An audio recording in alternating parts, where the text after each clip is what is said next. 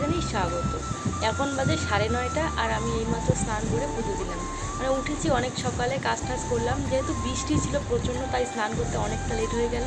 আর ও খাওয়া দাওয়া করে দোকানে চলে গেছে, আর এখন আমি একটু চা বানিয়ে খাব। আর তোমাদের দেখো, আজকের ব্লগটা আশা করি ভালো লাগবে। চা বানাতে তো চলে এসেছি, চা তো বসিয়ে দিয়েছি, আর এইদিকে দেখো তখনও কিন্তু বৃষ্টি পড়ে যাচ্ছে। হ্যাঁ হয়তো মুসলধারা ছিল না, কিন্তু টিপ টিপ করে পড়ে যাচ্ছিল, বেশ ভালো লাগছিল ওয়েদারটা এরপর চা সাথে নিলাম একটু মুড়ি আর একটু গুড় দিয়েই নিয়েছিলাম। অনেকদিন থেকে গুড় দিয়ে মুড়ি খাই না। হ্যাঁ অনেকে গুড় দিয়ে চিড়ে খায়, কিন্তু আমার গুড় দিয়ে মুড়ি খেতেও কিন্তু বেশ ভালো লাগে। আর এরপর বসে পড়েছি সবজি কাটতে। এর আগে খাওয়া দাওয়া সেরে নিয়েছিলাম, আর আমার সবজি কাটতে না প্রচণ্ড সময় লাগে। আর এদিকে ও মাছও নিয়ে এসেছিল, ওই জন্য ভাবলাম আগে সবজিটা কেটে নিই, তারপরে না হয় মাছ একবারে ধুয়ে নিয়ে আসব। মার সাথে সবজিটাও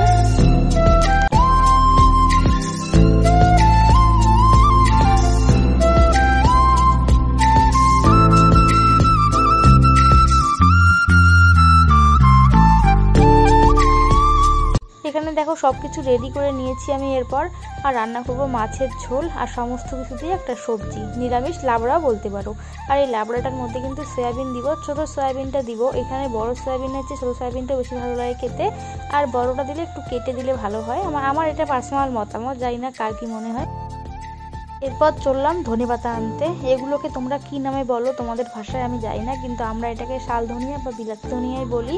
আর দেখো, এতটা পরিমাণে ঘাস হয়েছে এই জায়গাটায় বসার জন্য।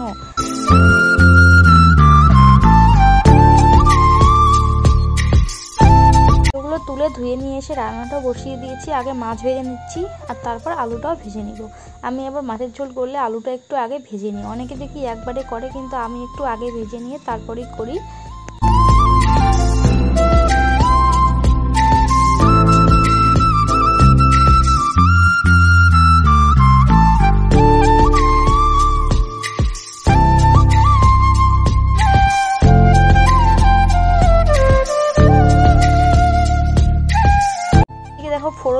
দিয়েছি ঝোলের মানে যেভাবে মাছের ঝোল করে সেভাবেই আমিও করছি।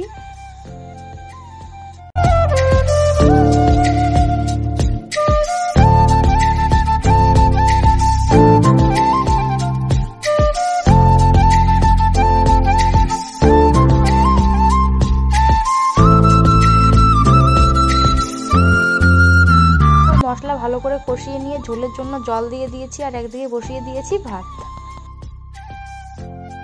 এদিকে আমার ঝোলও দেখো রেডি লাস্টে শুধু মাছ দিয়েছি, এখন নামিয়ে নিব।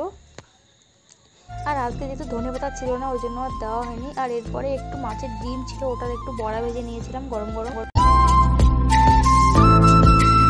এদিকে খেতেও বসে পড়েছি, আর রান্না করেছিলাম তোমাদের দেখলেই, মাছের ঝোল, আর পাতনি ছিল একটা সবজি বা লাবড়া, আর তারপর করেছিলাম মাছের ডিমের বড়া।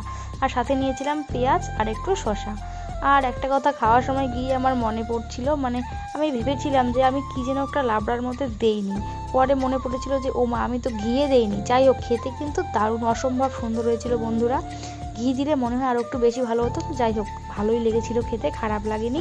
আমি তো লাবটা দিয়েই বেশিরভাগ ভাতটা শেষ করেছিলাম, ঝোল দিয়ে একটুখানি ভাত শুধু খেয়েছিলাম। ঠান্ডা থাকা সত্ত্বেও আজকে কিন্তু ঘুমাইনি। এরপর দেখো সন্ধ্যাবেলা সন্ধ্যা দিয়ে দিলাম আগে আর তোমাদের একটু মা লক্ষ্মীকে দর্শন করিয়ে দিলাম। এটা আমার ঘরের ছোট্ট মা লক্ষ্মী। আর তারপরে একটু বসেছিলাম, একটু মানে অনেকটা সময় বসেছিলাম, এরপর একটু সন্ধ্যাবেলা চা নিয়ে নিলাম আর সাথে একটুখানি মুড়ি। গুড ইভিনিং বন্ধুরা। চাটা খেয়ে চায়ের বাসন ধুয়ে রাখলাম আর একটু আটাও মেখে রাখলাম। আর সত্যি কথা বলতে আজকে চা খেতে গিয়ে যা হলো মানে চা মুখে দিছি, এতটা পরিমাণে গরম ছিল আমি বুঝতেও পারিনি। যাই হোক, প্রতিদিন তো গরম গরমই খাই, আজকে জিপটা পুরো একদম পুরে শেষ। যাই হোক, তবুও চা খাওয়া কিন্তু ছাড়ছি না এই মুহূর্তে দাঁড়িয়ে, অসম্ভব ব্যাপার। যাই হোক, দেখা যাক কবে ছাড়তে পারি। আমি এর সম্ভবত পরশু দিনের ব্লগে আমি বলেছিলাম চা ছাড়ার ব্যাপারটা নিয়ে।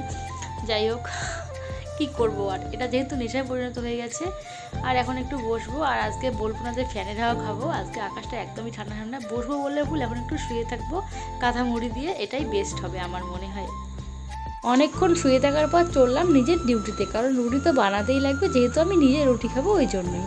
তাড়াতাড়ি করে রুটি বানিয়ে খেতেও বসে পড়েছি আর লাবড়াটাতে রুটি খেতে অসম্ভব সুন্দর লাগছিল।